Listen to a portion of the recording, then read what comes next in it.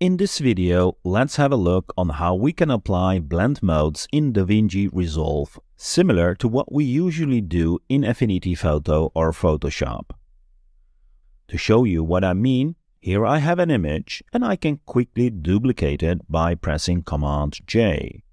On the duplicate we just created, I can change the blend mode to soft light, which immediately creates this nice contrasty warm image.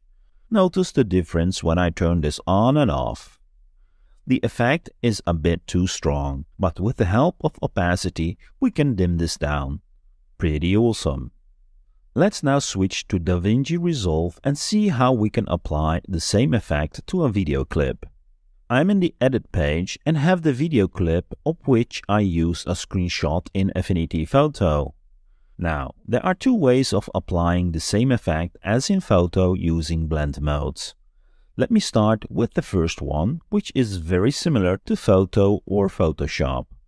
We duplicate the current clip by holding the Alt or Option key and then drag the clip to the layer above. This will create a duplicate of the clip. We can then change the blend mode of this clip, just like in Photo or Photoshop, by using the Inspector panel. If the inspector panel is not enabled, make sure it is enabled using the inspector button on the top right. With the duplicated video selected, we can scroll down to the composite section. In DaVinci Resolve, the blend mode is called the composite mode, and just like in Photoshop or Affinity Photo, we can select a blend mode. Let's select soft light, and we have achieved the same. Pretty cool.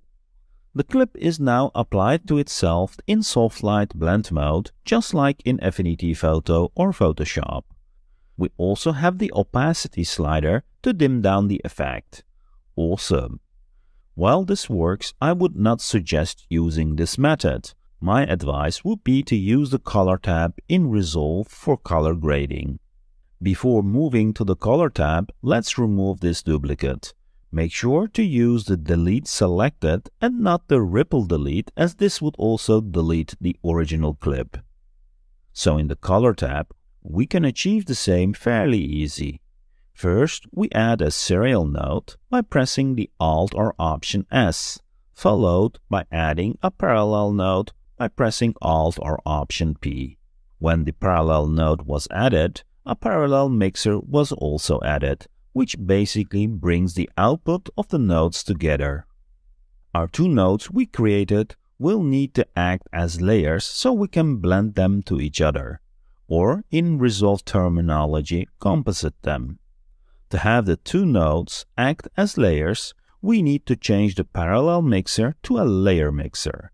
To do that, we can right-click on the parallel mixer and select Morph into Layer Mix Mode. Now that we have a layer mixer, we can right-click again on the mixer node and change the composite mode to soft light. And there we have the same effect. Pretty awesome. By the way, you could also use a custom mixer node, but that is for another video. To see the before and the after, I can disable the lower node by clicking on the number at the bottom left or make sure it's selected and press Ctrl or Command D to toggle it on and off. Now the effect is way too strong, so we want to dim it and we need something like opacity. You can look around, but I don't think you would find a slider called opacity here. To control its strength or the opacity, we need to use the key function of a node. You can compare the key with the mask in Affinity Photo or Photoshop. Let's make sure our node is selected and then press the key icon in the middle of the screen.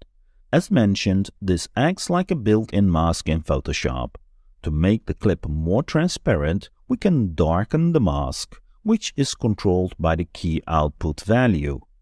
I can hold and drag on the number to control the value, and if I lower it, notice how the white moves to gray, which increases the output transparency or in other words, lowers the opacity of the node. Pretty cool. Here's a quick tip for you. The preview by default will show the final output. If you want to see the output of the selected node, you can use the Shift H command key to toggle between the selected node or the final output. So when I press Shift H, our selected node will be previewed. Notice the effect of lowering the key output. Let's see the before and the after by pressing Command D to toggle this node. Pretty cool. Here is another tip for you.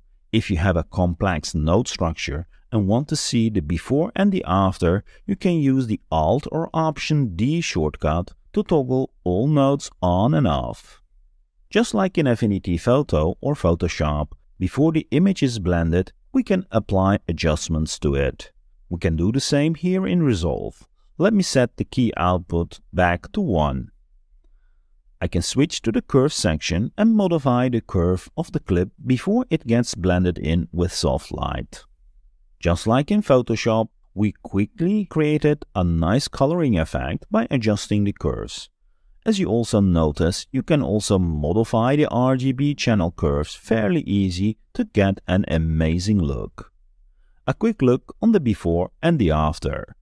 Pretty awesome how quickly we color graded this clip using our photoshopping skills.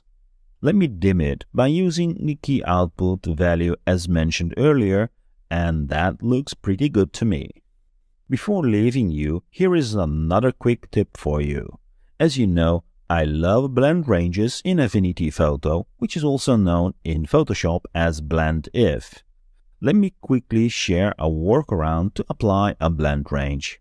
We're going to make use of a luminosity mask for this. To create a luminosity mask, I need a node in front of our node where we applied the curves adjustment. I can right-click on the node and select Add Serial Before. This node will act as a mask before we make the curve changes. To have this node act as a luminosity mask, we need to apply a qualifier in Resolve. Let me enable the qualifier screen by pressing the color dropper icon. It opens up the HSL qualifier and I can now select the range in the luminosity section by moving the controllers on the range or use the input values below. As you can see, I have now selected the highlights in the clip. Let me toggle the node preview. As you can see, the node with the curves adjustment is not being modified. We still see the whole clip. If we go to the node with the luminance mask, we can indeed see that only the highlights are shown. To make sure the mask is being applied to the next node, we also need to connect the blue control points. Notice now how the node with the curves has been updated and the curves adjustment is applied to the same output. Awesome!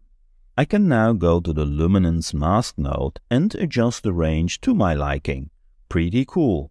I can temporarily disconnect the node to see the before and link it back to see the after. DaVinci Resolve can be a little bit overwhelming, but a lot of techniques used in Photoshop can be applied fairly easy when you know your way around. The extra dimension of time in video can sometimes make things challenging. Thank you for watching and here are some shortcuts used during this video. Until the next video.